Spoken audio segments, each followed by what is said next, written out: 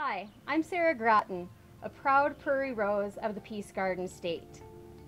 Born in Valley City, North Dakota, and reared on a small dairy farm outside of Dazey, North Dakota, I had a wealth of opportunities that, much like Teddy Roosevelt, if it wasn't for his experiences in the great state of North Dakota, I would probably not be on this journey, my personal journey, to Mrs. United States.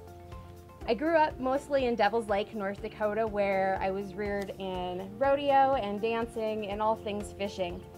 In June of 2010, my husband Courtney and I migrated from the quaint little community in the Pembina Gorge of Olga, North Dakota, to yet another small community in the area, the heart of coal country, by the name of Wilton, North Dakota, which was founded in 1899.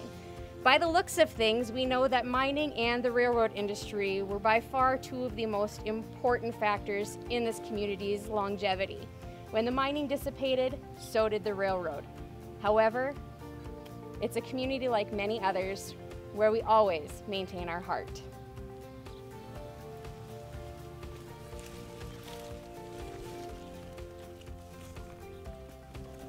Come with me if you dare to find out more about Sarah Gratton, Mrs. North Dakota United States 2016. Fun fact number one about Mrs. North Dakota United States the Queen of England is not the only royal to have a love obsession with the Pembroke Welsh Corgi. Whether it's their charismatic personality, their love for their mama, or the infamous Corgi walk, those who own Corgis will know what I'm talking about Paisley, Molly, and Oscar will lick, kiss, or sniff their way to anybody's heart. Come here, kids. Hi, Oscar. Where's Molly? Come here. Oh, Mama kiss? Hi, Paisley. Fun fact number two about Sarah Gratton is I tend to be fun, adventurous, and a little bit of a thrill seeker. I went honeymooning in Las Vegas back in 2013 where my husband and I skydived at over a thousand feet in Boulder City.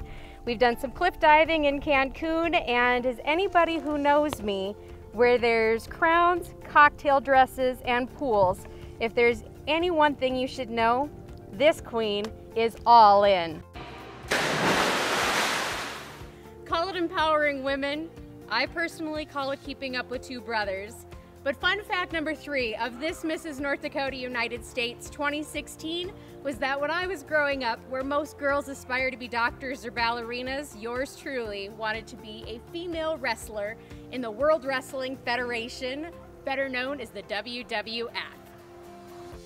So as you can see, I'm a queen of many towns and cities, representing one great state and a people that are all heart and I am proud to be your Mrs. North Dakota United States 2016.